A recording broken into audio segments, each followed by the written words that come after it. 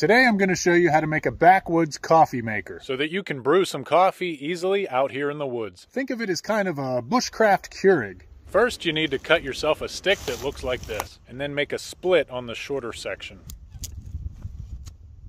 Now you need a piece of birch bark and shape it into a funnel.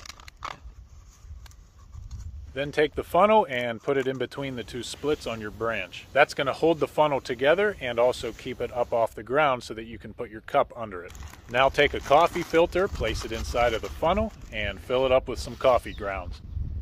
Bring some water to a boil and then take it off the fire and pour it over your coffee grounds through the funnel and you'll get fresh hot coffee on the other side. This works just like a regular coffee maker, just a little more work and no electricity. This is one of many ways you can brew coffee while you're out camping. Now your coffee is ready to drink. Enjoy.